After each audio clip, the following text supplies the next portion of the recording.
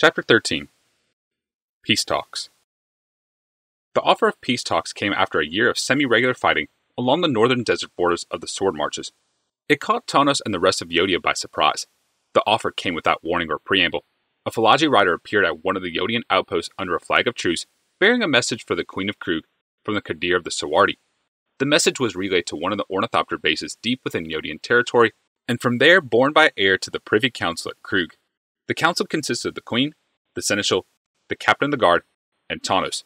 For a brief period a year earlier, Urza had attended the meetings faithfully, but soon he began sending his apprentice as his proxy. With the arrival of the Kadir's message, though, Urza appeared in the council at the Queen's right hand. Tanos stood behind the chief artificer's chair and to one side. The apprentice noticed that Urza's eyes did not leave the ornately scribed scroll now spread before them. An offer of peace, said Kayla. An offer of truce, corrected the seneschal, with a slight quaver in his voice. A cessation of hostilities, a pulling back of forces while peace is being discussed. How bad are the hostilities? Kayla turned to the captain of the guard. The newest captain, as he was still thought of by many, was a thoughtful man, and paused before he responded. Sporadic, but serious enough, he said, and paused again. The mannerism bothered Tanos, but the others at the table had grown used to the captain's habit and let him gather his thoughts. They fall into two groups, he said. One seems to be a traditional raid of the Falaji type, a rapid push into our territory, looting a random town or cavern they encounter, then retreating before our forces can arrive. The other type of assault is carried out by a larger, more organized force that seems intent on destroying a specific target, such as a bridge, a mill, or a fort. The Dragon engine often accompanies these raids. There is less looting, but more destruction. Those are organized attacks, said Urza softly. The others are just parties of desert raiders, seeking their own loot and glory. The attacks with the Dragon engine are more organized and have a firm objective in mind. His eyes did not leave the parchment bearing the truce offer. Those organized raids have my brother's approval and show his planning. Approved or not, ventured the seneschal, the effect is to demoralize the people of the sword marches and all along the river Mardun. The Falaji regularly raid the territories on the far side of the river, and rumors swirl that they plan an attack across it sometime in the near future. Are they indeed planning such an attack? asked Kayla, her voice firm and her manner dispassionate. Tawnos noticed that in council, she usually let all sides speak, then made her decision. The seneschal looked at the captain, who paused, then said, We have no knowledge at this time. We have fortified encampments on the far sides of the river, with bonfire towers to warn us of any massed movements. The river is wide enough that even if they found or built sufficient boats, we'd be prepared for any assault long before they could launch it. Another pause. However, maintaining garrisons along the Mardun stretches our resources even further. Kayla thought what about the newest captain said, then nodded. We can use the ornithopters for additional patrols. Those resources are stretching thin as well, said Urza. We have nearly 30 machines and six patrols of five each. If we get the power stones from Argive for which we have asked, then we could double that number. But the Argivian crown is being, the lean man bit his lip, reticent. Kayla nodded again. From what Urza told her, the Argivians were practically swimming in power stones, most of them from Tocasia's original encampment. However, it appeared that prying the stones from the ground was simple compared to prying them from the Argivians' hands. Instead, she said, What is the status of the flights? Urza answered while the captain was pausing. Five of the flights are in the field, at bases throughout the northern sword marches. The sixth is here at the capital. The sword marches flights operate from permanent bases. I was thinking that we could establish a series of such bases along the border and move the flights from one to another as need be. The captain frowned and said, That would be taxing on the pilots. We have more capable pilots than we have craft for them to fly, Urza replied. The additional camps would give us sufficient maneuverability and increase our ability to respond, and perhaps they would give us the same element of surprise that the Falaji are currently enjoying. The captain shook his head. The pilots need their rest. Should the machine sleep just because the men do? asked Urza. There was a brittle irony in his voice. Tawnos had seen this battle before. When it came to the ornithopters, the master artificer had more sway than the captain of the guard did. The captain paused for a moment, then shrugged his shoulders in defeat.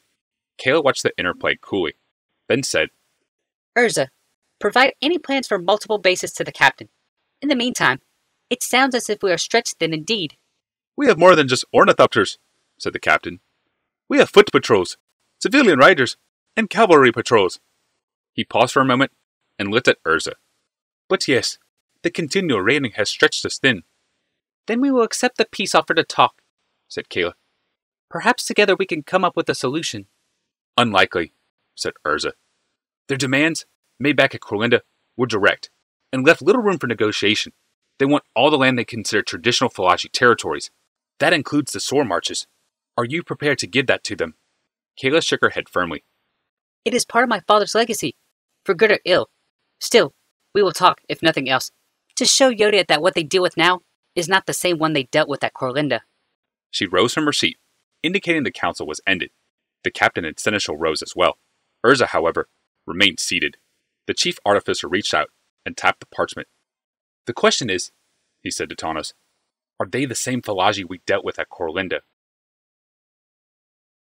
The offer was accepted, and word was relayed back to the borders by Ornithopter. Negotiators set a date at the end of the next month at Kroog itself.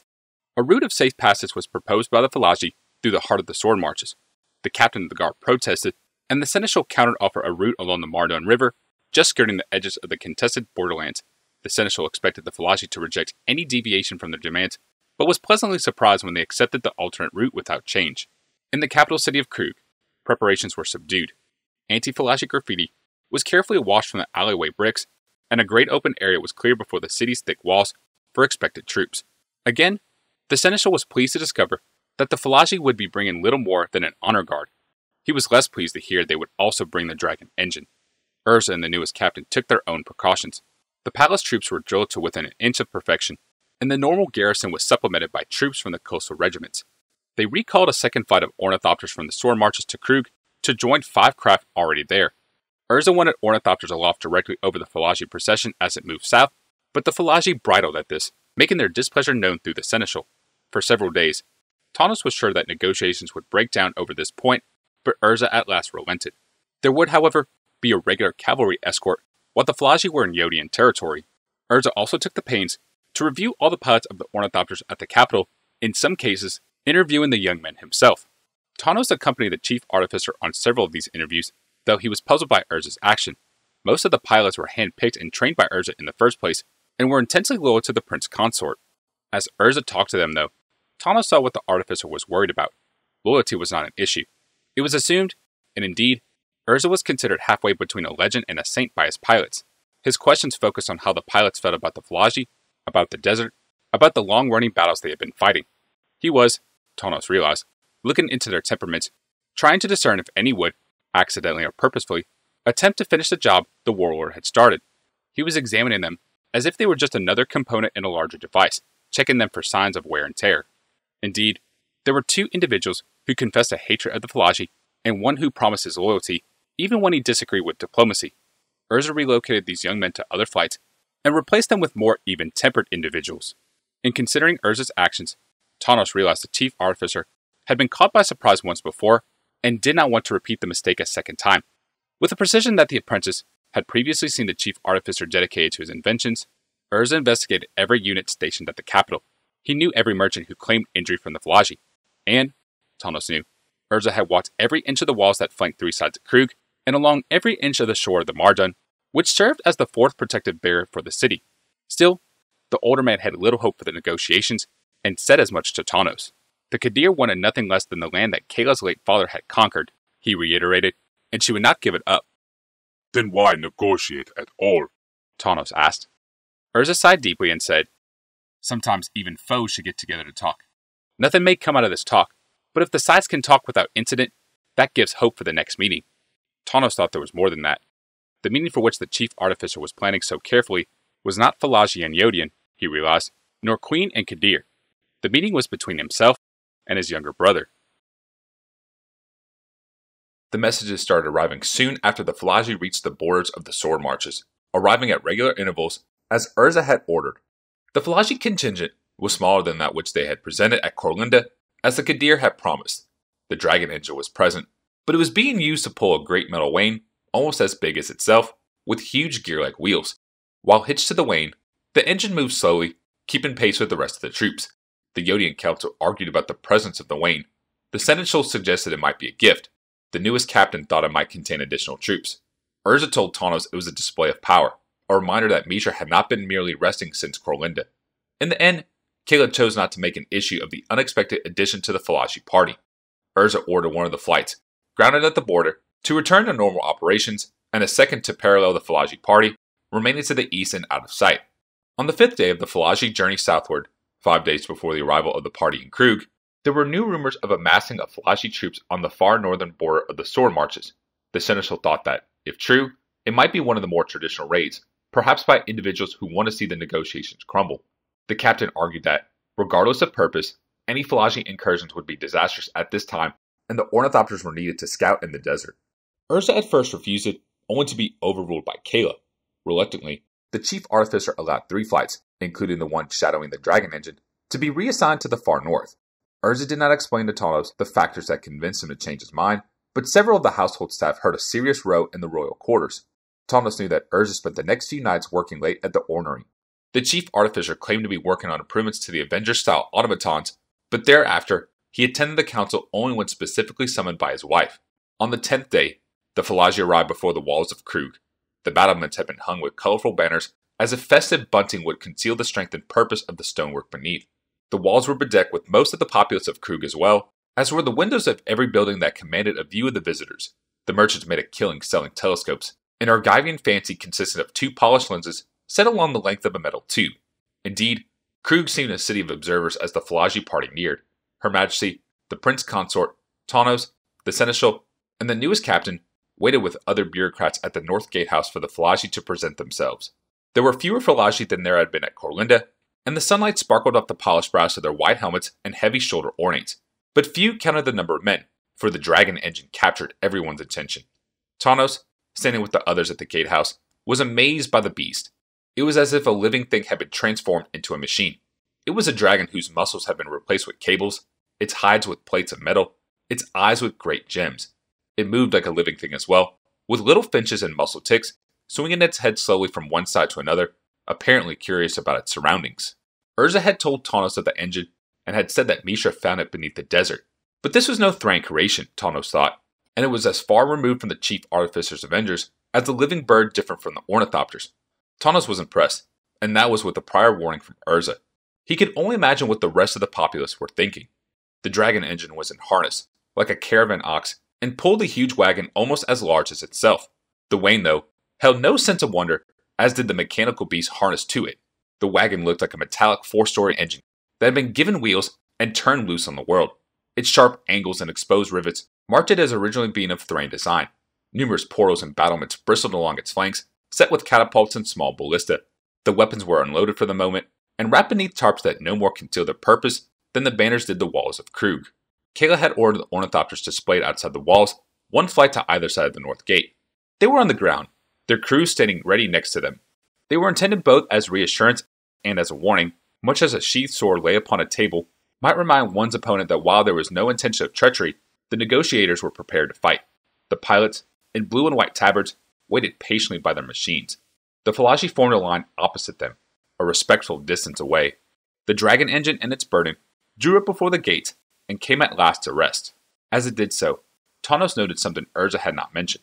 A dull throbbing came from the beast as fluids gurgled through hidden tubes and hydraulic joints shifted in place. The humming was akin to a heartbeat, and Tawnos could feel it more than he could hear it. The machines came to rest, and after a short interval, a door opened in the side of the great wing. A staircase was lowered, and down the stairs came two figures. Neither was the Kadir. Instead, Mishra led the way, followed by his assistant. Tawnos had not met either, yet from the way Mishra carried himself, Tawnos knew he must be Urza's brother. The younger brother was shorter, heavier, and dark haired, with a tightly trimmed beard. But there was something in his walk, and in the face beneath that beard, that marked him as kin to the chief artificer of Kroog, Prince Consort of Yotia. Mishra was bedecked in the flowing robes of a desert prince, his head bare, and his face beaming with a great smile. He blinked in the afternoon sun and waved to the crowds on the battlement. There were catcalls among the responding cheers, but the younger brother seemed not to notice. Yet, much as the wain was diminished by the dragon engine that served it, so too was Mishra diminished by his companion. She was a slender woman, with hair the color of bloodstained rubies, dressed in dark clothes, a flowing cape billowing behind her. She carried a simple, unadorned staff of black wood, and seemingly did not recognize the crowd's shouts, for she kept her gaze forward. From Urza's description, Tawnos knew this must be Ashnod. No Kadir emerged from the metallic wain, and in the gatehouse, the Yotian leaders held a quick conference. If the Kadir was not present, noted the seneschal, then the queen should not appear either for the initial welcoming. A group similar in protocol should respond to the Falaji's initial delegation. More might be taken as a sign of weakness, less as an insult. That meant Urza and Tawnos would greet the new arrivals. The chief artificer nodded, his face stiffening slightly as he saw his brother on the field. Tawnos thought the artificer would rather speak with his brother privately, but this was not to be. The queen would remain at the gatehouse as the artificer and his apprentice met the Falaji representatives. Urza was stiff and formal as they crossed the open space between the city and the Falaji. Tawnos kept an appropriate two paces behind and to the right, marshaling his own features to a calm demeanor. Urza stopped before Mishra and Ashnod, and without preamble, raised his empty hand slightly as if he were a priest giving benediction. Welcome to Kroog, brother, he said. Mishra flung both arms outward, and for a moment, Tawnos thought the younger brother was going to rush his elder and hug him. Instead, Mishra bowed deeply. Tawnos noted that Ashnod gave a short bob of the head as well. We are honored by your invitation, said Mishra, rising again. The smile on his face could be earnest, thought Tawnos, or it could be the pasted on smile of a Falaji trader. We are honored by your presence, said Urza, though his words sounded to Tawnos' ears dry and bloodless. Is your Kadir with you? Alas, said Mishra, bowing again deeply. I fear that his most wise and earnest presence could not accompany us on our mission of peace and mercy. Our empire is wide now, and there are other matters that require his attention. Urza was silent for a moment, and Tawnos could see the muscles tighten along his jawline. We should have been told if your leader was otherwise occupied, he said at last. We understand your disappointment, replied Mishra quickly. Be assured that it is shared by our most poisoned and powerful master. I will not lie to you, brother. After his last experience with your people, he wishes to be cautious. He has entrusted me the power to negotiate fully on his behalf. However, if we are unwelcome because of his absence, we apologize and will humbly retreat the way we came. He bowed a third time. Tawnos realized the younger brother was not making his exaggerated movements for Urza, but rather for the large number of Yotians lining the walls. Even if the chief artificer had wanted to, he could not now send the Falaji representatives away. Tawnos held his face in a mask of solemn indifference, as he had back when, as a lad, he listened to his uncle speak. He kept his eyes forward, looking past Mishra into the middle distance. After a few moments, he realized he was looking at Ashnod over her master's left shoulder. She too had the impassive look on her face of a child who is expected to behave herself while the parents talk. Tawnos blinked, realizing the red haired woman might think he was staring at her, and moved his gaze a few feet to the left toward one of the wheels of the great metal wain. As he did so, Ashnod caught his eye and winked. It was a flutter, accompanied by the ghost of a smile. Tawnos started, his eyes darting back to the scarlet haired woman. But by that time, her face was an impassive diplomatic mask. All this occurred in the time it took for Urza to respond. You are welcome as the representative of your people, he said. Let me present you to the queen. If you will follow me. A brief bow here, and Mishra added softly, And let me say, you are looking well, brother. I would have been heartbroken if you had perished at Korlinda. It is, began Urza, and paused. The world seemed to turn around them for a moment. Then he continued, It is good to know you are safe as well. About Korlinda. Mishra held up a hand. We can speak of the matter at length. Let me say that I have given it much thought over the past year. We will talk, but for the moment, we should not keep your queen waiting. Urza's face tightened for a moment, then relaxed, and he nodded. Of course. With that, he spun on his heel and walked back toward the gate. Mishra followed, accompanied by the woman. Tawnos brought up the rear. The red haired woman hesitated as she passed the apprentice. She turned slightly and said, You must be Tawnos. She held out her hand. Automatically, Tawnos took her fingers and bowed slightly over them. I'm sorry. Yes, I'm Tawnos, apprentice to Urza. You are Mishra's chief apprentice, Ashnod? Ashnod withdrew her hand, and again a small smile played over her face. Chief and only, she said. It is typical of those two that they wouldn't bother to introduce us. Brilliant, Mishra is, but he sometimes has the social graces of an Atog. It must run in the family, eh? Tawnos tried to form a response, but by the time he had thought of something relatively innocuous, she had turned back and was following the two brothers toward the gate.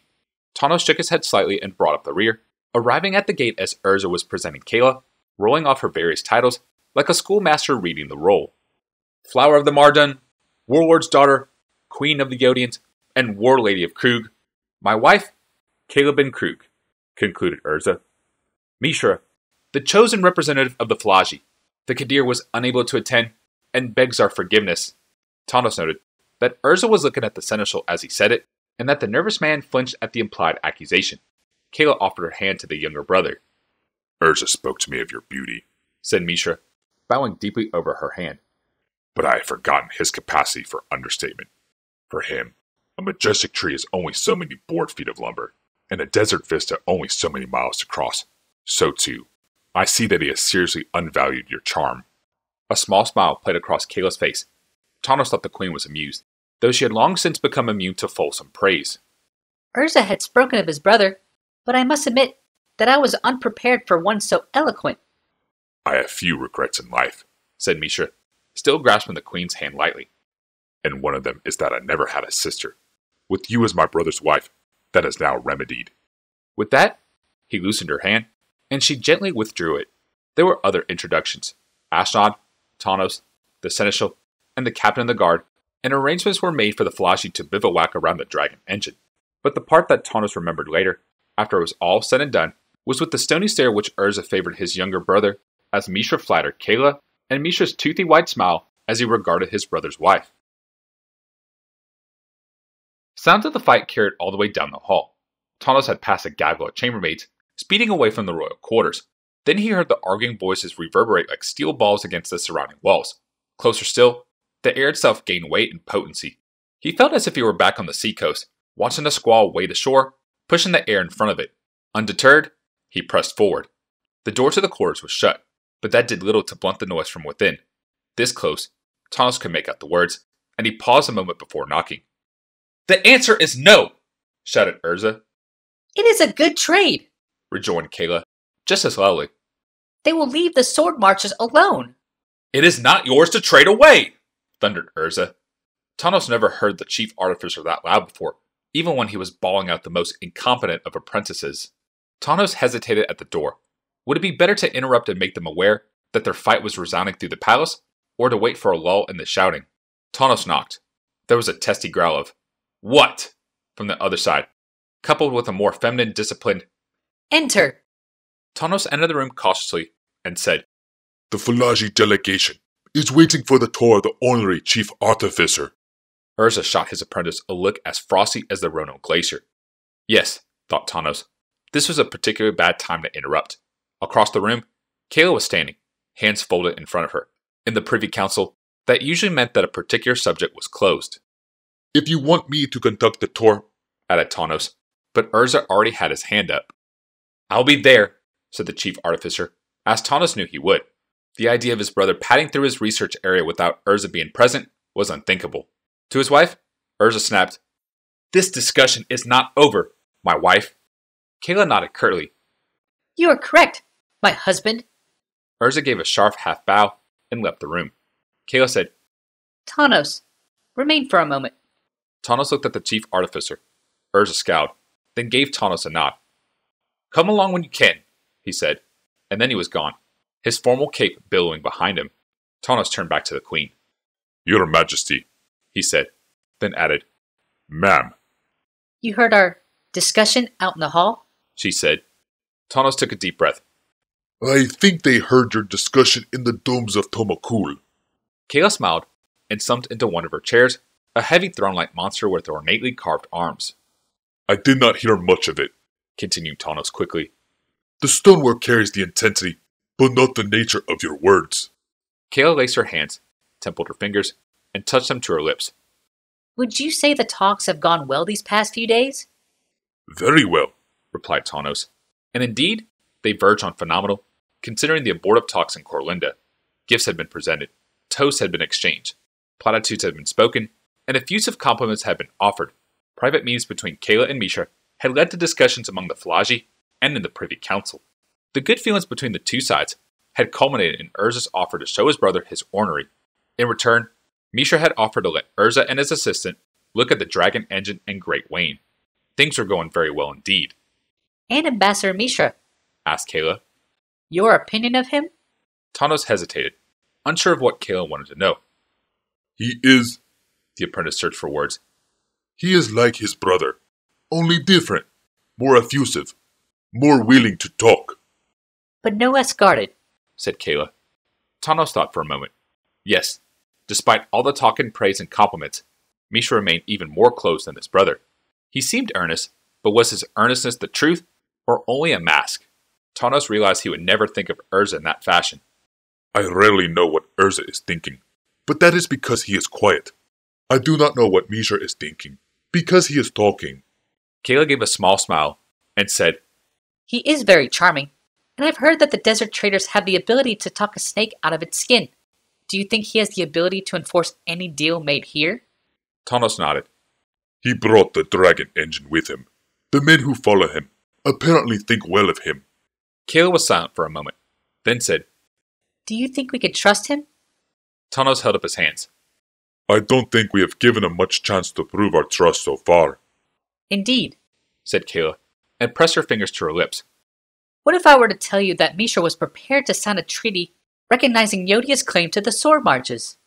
Amazed, Tawnos said, The Kadir is willing to do this? Kayla held up a finger. I said, what if? Diplomacy is filled with what ifs, idle ideas that are launched. If they fail to fly, they are quickly denied and more quickly forgotten. Like prototypes in the ornery. smiled Tawnos, and he thought about the nature of the offer. What would be the price for such a boon? Kayla nodded. The declared prices involve protection of Falaji natives among our populace, guards for their caravans within our lands, and a token payment for the land seized, but no formal apology for seizing it, along with the recognition of the Kadir as the ruler of the united Falaji people. In national terms, these are very small things indeed, but there is one last piece, and that is the sticking point. Kayla was quiet for a moment, and Tawnos did not interrupt the pause. When she spoke again, it was in cool tones. What are the abilities of Urza Stone, the one he wears around his neck? He's Might Stone. said Tawnos. Light broke over him. Mishra wants his brother's talisman. What does it do? persisted Kayla. He is rarely without it. Tanos thought about what he had seen Urza do with the stone. Slowly, he replied, It seems to make artifacts and creatures more powerful with a limited range. He uses it to heal flawed power crystals, but it seems to work that way only in his hands, and he holds it when he is thinking, though that may be just force of habit. Good Sir Mishra has his own stone, made to his brothers. said Kayla. Has he told you that? Tawnos was silent for a moment, then shook his head, I was surprised at that as well. The more so that it was Mishra who told me. said Kayla, a ripple of irritation evident in her voice. So the stone has some power, and Mishra wants it. Mishra said his stone sang to him. Does Urza's stone sing? Not that I have noticed. said Tawnos. Nor I. Agreed Kayla. The ambassador may be using some desert idiom I am not familiar with, so it may just be a flowery illusion. Yet the fact remains that Mishra is willing to guarantee peace, backed by his dragon engine and other devices he has hinted at, all if Urza will give up his stone. Tawnos shook his head, Urza would not do this, I think. You think correctly. said Kayla gloomily. Hence the discussion that shook the halls of this palace. The Queen of Yotia placed her palms together, fingers extended, and twisted them a quarter turn against each other, then back. It struck Tawnos that he had seen Urza use the same mannerism when faced with a problem in design. He wondered if the Queen had picked up the habit from the Prince Consort or the chief artificer from his royal wife. I do not think it would do the nation harm if Mishra was to get the other half of his stone. She said, But it might do Urza harm. replied Tawnos, In doing so, it could harm the nation. Agreed. said Kayla, again twisting her palms against each other, then setting them down in her lap. But can I let this opportunity pass by? Am I condemning the sword marches to continual raids and the rest of the country to a constant military footing because of an item coveted by both brothers? Tawnos was silent for a moment, then said, Urza is right.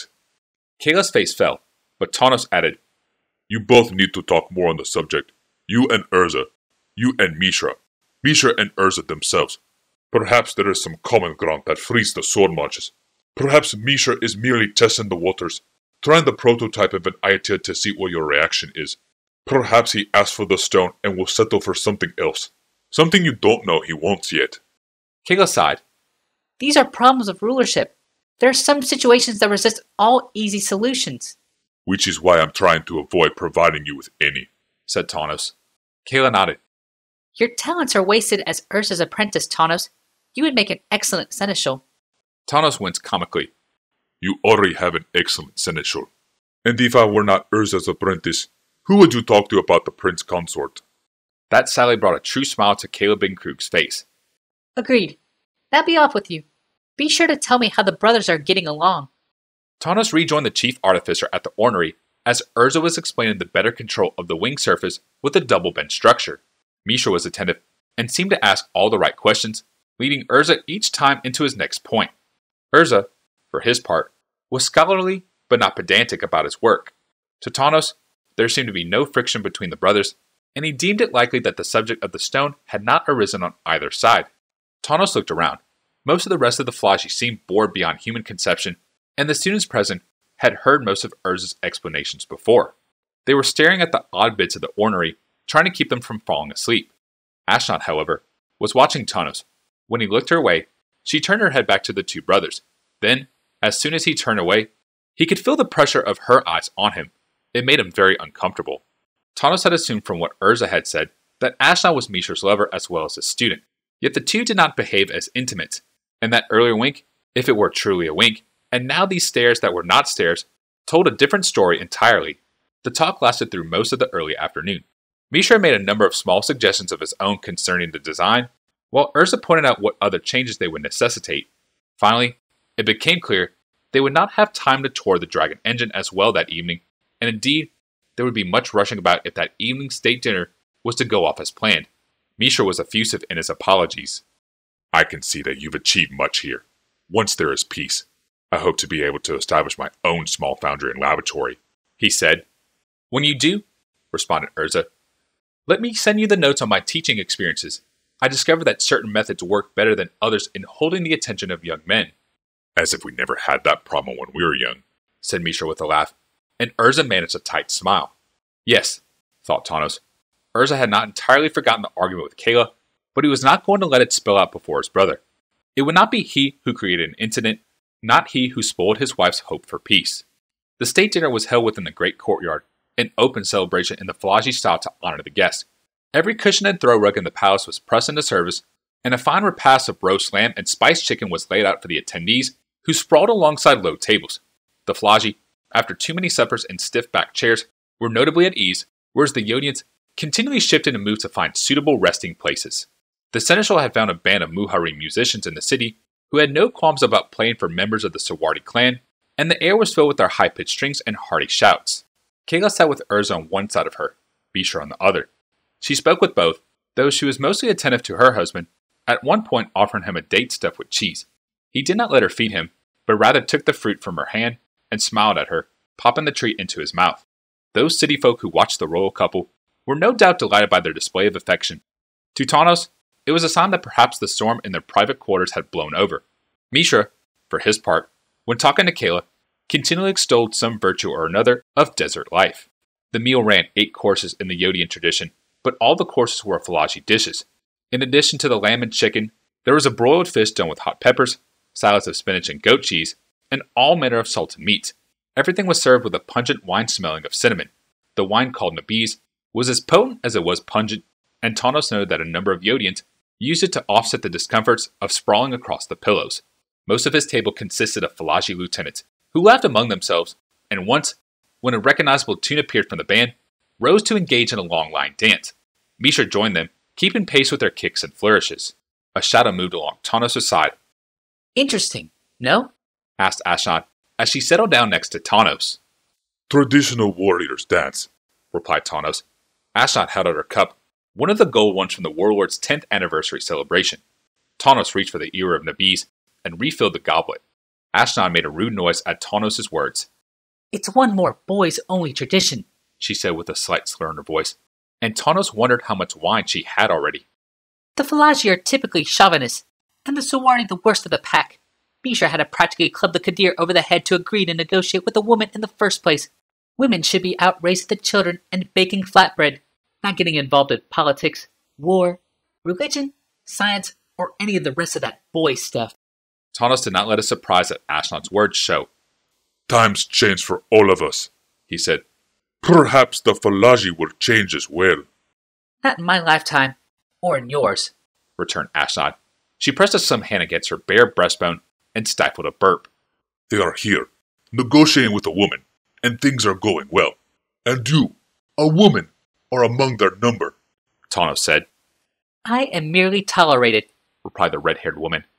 I am Mishra's apprentice and assistant. The great Mishra is as much the leader of the Falaji now as the Qadir, and the chiefs trust him more than they do the fat young pup currently running things. So they put up with me. And the Falaji legends say things about dangerous women with red hair. She set down her cup and ran both hands through her long tresses, arching her back as she did so. So they fear me as well. Should they? asked Tawnos. He knew he was feeling the effects of the Nabi's work through his system as well, but he could not suppress his interest in this woman, Fear me? said Ashnod with a devilish smile. I'd like to think so, but if Mishra let them tomorrow, I would be gone as well before nightfall. Of that, I have no doubt. Tawnos made no comment and instead looked at the dancers. Most of the Falaji had joined the dance, which had transformed from a line into a spiral curling onto itself. Mishra led the procession and enticed the spindling seneschal to accompany him. The bird-like man tried to mimic Mishra's steps and did an admirable job miming the steps, bows, and shouts. Other members of the palace staff had joined the procession, but both unfamiliarity and spice wine worked against them, reducing them to mere shufflers in the procession. The Falaji did not seem to mind, and in fact seemed to spur them to increased gyrations and bellows, Things are going very well. said Tawnos. Better than you could imagine. said Ashnod softly. What do you think of the ornery? Asked Tawnos. More impressive than I expected. replied Ashnod, shaking her hair back. Master Mishra is jealous, you know. Not that he admit it, but he's been talking about a get a place to set up his own work for years. I think that's why he wants this peace treaty. He's been recruiting artisans from Tomakul and Zegon, but he has no permanent place for them. Tawnos nodded. Ashnod was sharing more than she should, but he had no problems listening to her. Still, He said, it is a pity we ran long with the ornery. I would have liked to have examined Tawnos stared into her stormy eyes and almost lost his thought. Mishra's dragon engine. He finished lamely, Who's to say you can't? asked Ashnod, Well, there is always tomorrow. said Tawnos. Ashnod shook her head.